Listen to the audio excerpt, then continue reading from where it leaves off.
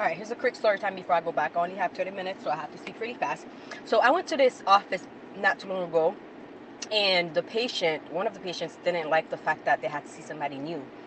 So as soon as I went to go get them, I was like, "Hi, how are you? My name is Karen. I'll be your hygienist today." She's sitting down like she's just so not enthusiastic of seeing someone new. Like you expected this person, but you are seeing a brand new face. You don't know what to expect, which I get, but there's no reason for you to be mad at me because I showed up for you. I showed up to take care of you. The person who you're looking for, you the person you should be mad at, the person you should be giving attitude to when they come back, is the person that's not here. Like I'm here to help you out. So bet I was like, okay, cool. I got her and then I got her into the room and then I was like, Hi, how are you? My name is Karine, I'll be your hygienist today.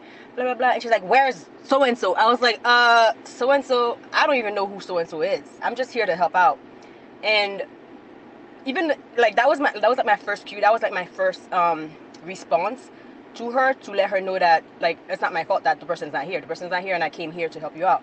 So going on or your anger issues, you need to give it to that person. I started like working in their mouth, right? Um, cleaning their teeth, and they're like, you know, it's just so frustrating. Let me show you. So they're like, you know, I'm just so frustrated because you know, um, when you expect this person and that person to do to do X, Y, and Z in your mouth, and they're just not. I'm sitting up like, yeah, I know it's very frustrating, but you know who we should be mad at right now? so and so because I showed up today to help out and that they're not here. I think you're, you know, I know you're mad right now, you're angry. I think you should take it out on that person. Like when you see them, tell them how angry you are. Mind you, this person took a vacation because it was their birthday.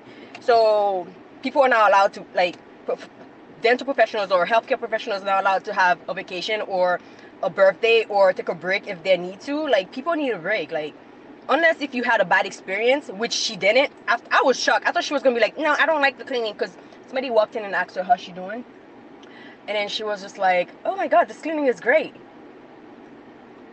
Okay, it is. Yeah, it was good because I, I, I do a thorough job, and she was like, yeah, yeah. She was complimenting me about how thorough uh, cleaning. But the thing is, I don't need your negativity beforehand. Like, especially if you're gonna leave happy, like your negativity kind of like yeah, it does affect people's mental health a little bit. You know what I mean? Like it, it doesn't linger, but it does. I think that's why a lot of people don't like dentistry to begin with. Like I was warned. I still love this career, but like people's negativity and negative energy, like if you don't have thick skin, just watch